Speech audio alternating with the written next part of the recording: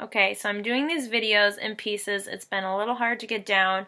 Um, sorry that I can't be there in person. I wish I was. I'm sure everyone's doing a great job and you're all loving this.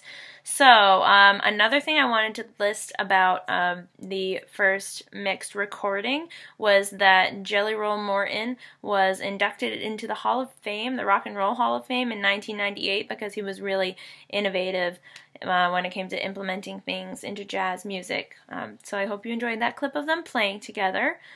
So moving on, we have the first mixed combo and big band group. So this was um, the Benny Goodman Trio, and Benny Goodman was an awesome clarinetist. He played with two other people. Um, let's see, Teddy Wilson and Gene Krupa, and they played together in 1935 is when they got together, and they um, had their first public interracial performance in 1935 at the Congress Hotel in Chicago. So at that time, this had never really happened before, and people were not happy about this. Um, they booed them, people walked out. Maybe it was like a low key riot, but people like weren't having this because segregation was still so prevalent. However, because Benny Goodman was so popular, um, he had like he was renowned nationwide.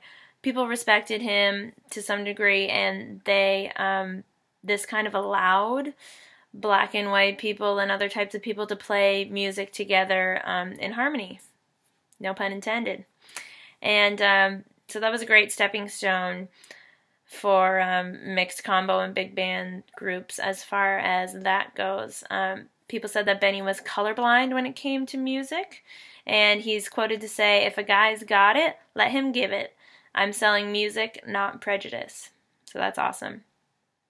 Um, he created a style called chamber jazz. So it's called chamber jazz because of the highly developed ensemble playing and technically brilliant solos. So we touched briefly upon chamber music in class. Um, in the 18th century is when it really started. It was mostly like string quartets, but um, Benny Goodman has this jazz song called Bach Goes to Town. And if you fast forward to the two minute mark, you'll hear um, the remainder of the song. You can definitely pick up some similarities to Bach's music, and it's really awesome to hear and relate back to what we've learned in class. So enjoy and enjoy the rest of the presentation. Thanks.